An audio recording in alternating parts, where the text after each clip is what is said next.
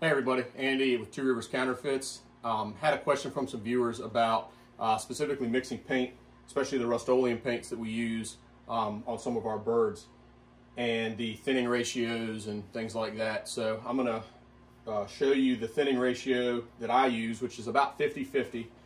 I use a product called Naphtha, available everywhere, Lowe's, Grainger, whatever your local hardware store is, they probably have Naphtha and uh, I keep it in a little squirt bottle just so it's always here labeled um, up on top.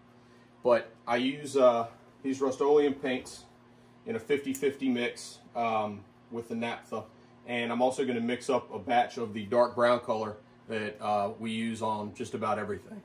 So uh, it's about a 60-40 mix. Uh, you're probably going to want to get some uh, of these little popsicle sticks from your craft store. They're really handy for uh, both measuring paint and for mixing. Um, and you're also going to want to make sure that you have caps for your bottles. That way, rather than sitting there stirring all day, you can just shake them up, mix them a little bit better. So for flat black, uh, all I'm going to do is I'm actually going to pour it in. Uh, one of the things that I like to do is I will take a punch, like a little leather punch, a little tool. You can get these at Harbor Freight. They're cheap. Um, it's got a really sharp, hard tungsten end on the end. And uh, I'll actually poke a couple of holes in the drain tray and that will allow any paint from a pour to go down back into the can so that it doesn't accumulate and over time because I open and close these cans a lot because I don't use real big quantities at once it'll make your paint last longer which uh, will save you some money in the long run which is kind of what part of this process is all about anyway, is uh, saving you a little bit of money on your on your hobbies. So I'm just going to take, I'm just going to pour about uh, half or so.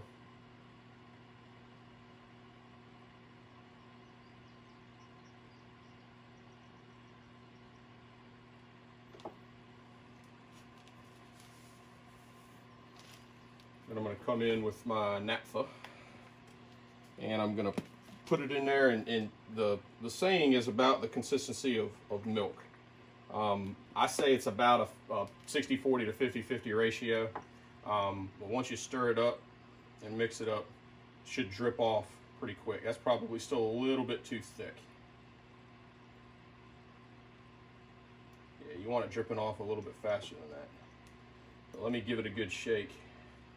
We'll see what we got.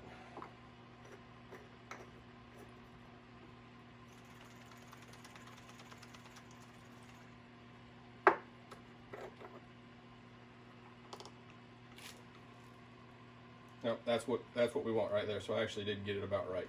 You want it dripping off pretty fast. That's pretty close. It's close enough that I'd go with it, and if it starts sticking to my uh, my airbrush my airbrush needle and clogging up, I'll uh, I'll go back over it and put a little bit more naphtha in there to thin it out. So for a mix, the dark brown color, for example, that we use on black ducks and geese and just, just about everything else, um, 60-40 brown to black. So all I'll do is I'll take popsicle stick, stick it in the brown, and I'll take six basically stickfuls.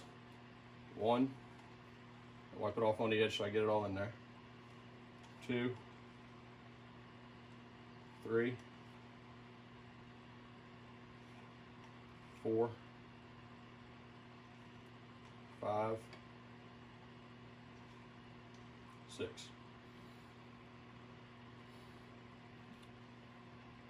Then I'll take black and do the same thing, only I'm going to do four. One, two, three, four.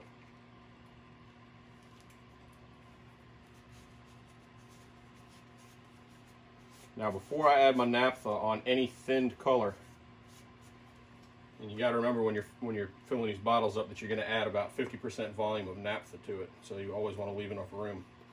Um, I'm going to shake it up and look at the color itself with no thinner in it. And I'll adjust from there. It's about perfect. A nice chocolate color.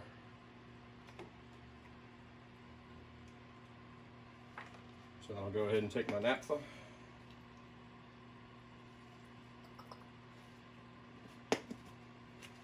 Add that.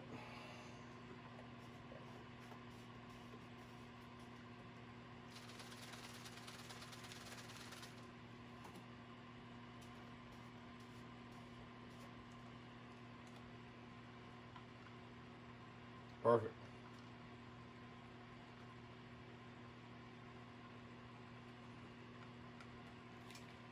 Ready to paint.